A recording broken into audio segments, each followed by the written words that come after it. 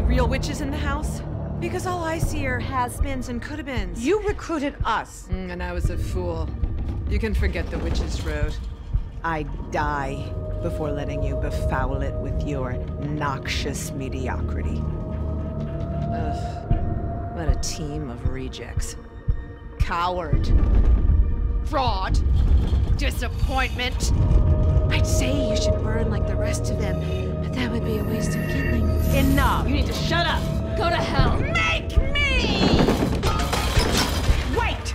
Huh, this is a power grab. She wants us to attack her. What? You brought us here hoping our proximity, coupled with your cruelty, would get you a spark you could steal. You had no intention of bringing us on the road. It's not my fault. Only a true coven can open the door.